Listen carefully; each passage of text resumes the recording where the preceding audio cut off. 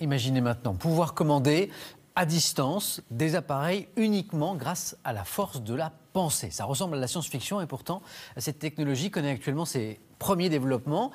Elle pourrait notamment permettre aux personnes paralysées d'écrire ou de surfer sur Internet. Regardez ce reportage à Lyon de Frédéric Lopp et Hugo Chapelon.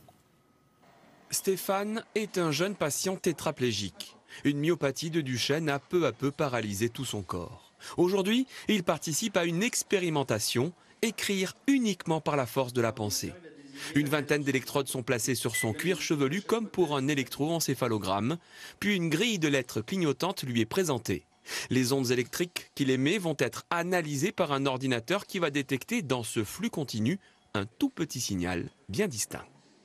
L'effort attentionnel fourni par le sujet pour ou dans la reconnaissance ou le choix des différents caractères proposés sur l'écran eh va générer des, des variations qui seront reconnues par l'ordinateur. Ainsi, en se concentrant tour à tour sur chaque lettre, le patient va composer des mots puis des phrases. Une interface cerveau-ordinateur qui va révolutionner la vie de certains tétraplégiques qui ne sont plus capables de s'exprimer en parlant. Les populations qu'on vise, c'est des gens qui sont bloqués dans leur corps, donc qui n'ont plus aucun contrôle musculaire. Et donc pour eux, le dernier moyen de communication, c'est leur cerveau. Stéphane, lui, malgré sa trachéotomie, peut encore parler. Mais il fonde beaucoup d'espoir sur cette nouvelle technologie. Ça permettra aux gens paraplégiques de pouvoir euh, écrire et se débrouiller un peu tout seul. Cependant, ce système est encore très expérimental. Pour écrire ce simple mot de sept lettres, Stéphane a mis cinq bonnes minutes. Alors des chercheurs travaillent à son amélioration.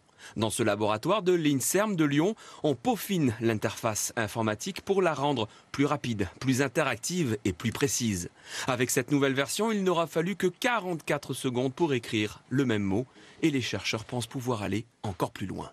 Euh, deviner quels sont les mots que le, sujet veut employer, et plutôt que proposer lettre après lettre, une fois que la machine a une idée de ce que le sujet veut dire, et eh bien proposer directement des mots, et donc avoir un système intelligent, un peu un dictionnaire euh, dans la machine, qui permette d'aller plus vite pour les patients.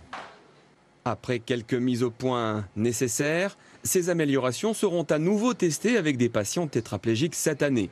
Un industriel s'est associé à l'expérimentation et a même fabriqué un casque plus facile à installer et plus esthétique.